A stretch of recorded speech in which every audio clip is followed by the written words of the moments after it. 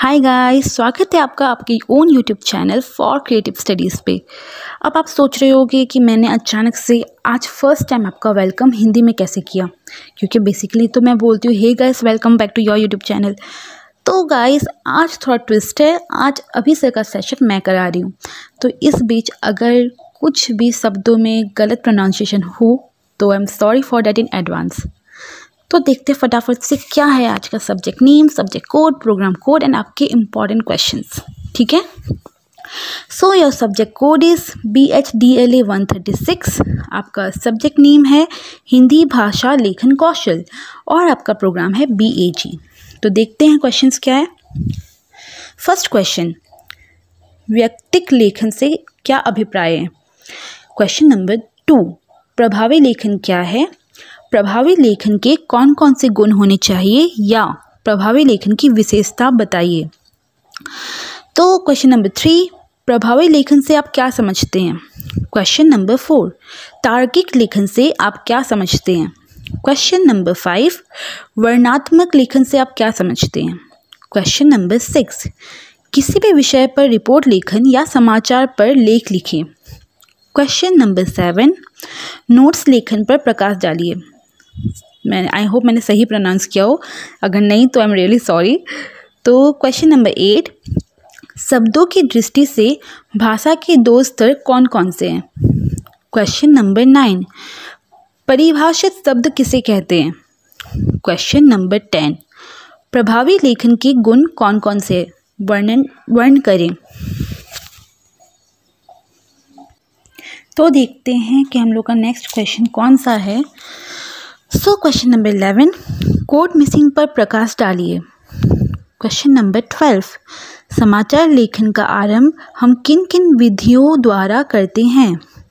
How do we start report writing और how do we start writing any news तो ये बोला गया इसमें। तो गाइस ये सारे क्वेश्चंस बहुत इंपॉर्टेंट है तो आपको ये सब ज़रूर ज़रूर से देखना है और ज़रूर ज़रूर से नोट डाउन करना है। ठीक है? अब देखते हैं कि अगला क्वेश्चन कौन सा है कौन सा है। क्वेश्चन नंबर थर्टीन प्रभावी लेखन के दो उद्देश्य बताइए। क्वेश्चन नंबर फोर्टीन संपादकीय लेखन के क्या अभिप्राय है? आई होप सही प्रोनाउंस किया मैंने। संपादकीय लेखन से क्या अभिप्राय है? क्वेश्चन नंबर फिफ्टीन भाव पल्लव से आप क्या समझते हैं? So guys for creative studies आपके लिए बहुत मेहनत करते हैं, बहुत।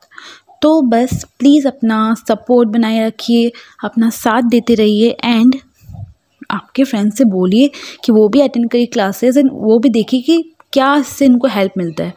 और अगर आपको कोई हेल्प मिल रहा है या आप इससे अच्छे से प्रिपेयर कर पा रहे हैं तो कमेंट सेक्शन में बताइए एंड लोगों से शेयर कीजिए।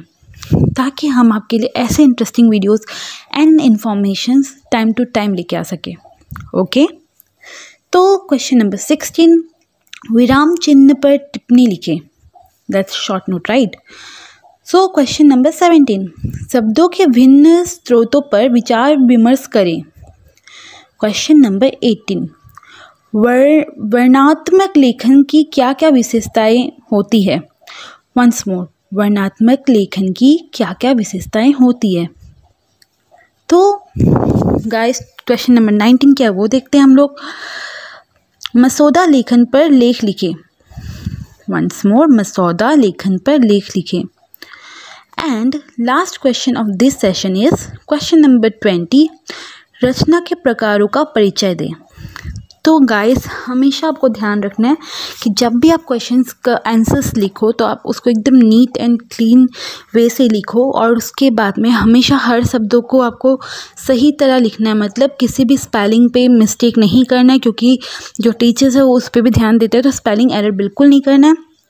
एंड कभी एसेज एंड ऑल लिखना जाए, जैसे कि शॉर्ट नोट हो गया, ये टिप्पणी लेखन हुआ या जो भी हुआ, इस टाइप के जो भी बात आते हैं, उसमें आपको एक अलाइनमेंट में लिखना है।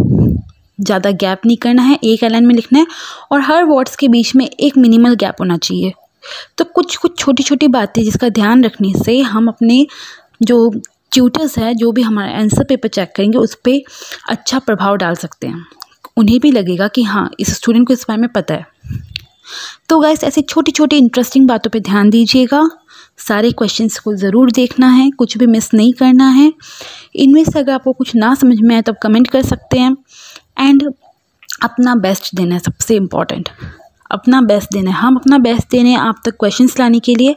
आप अपना बेस्ट दीजिए सारे एग्ज़ाम्स को अच्छे से अटैम्प्ट करके। एंड या गाइस आपके एग्ज़ाम्स कैसे हुए, उसका मेंशन ज़रूर कीजिएगा कमेंट पे। So I hope our every videos are very useful for you guys and I hope आपको हमारा एफर्ट्स अच्छा लगे एंड हम ऐसे ही आपके लिए लगातार काम कर सकें।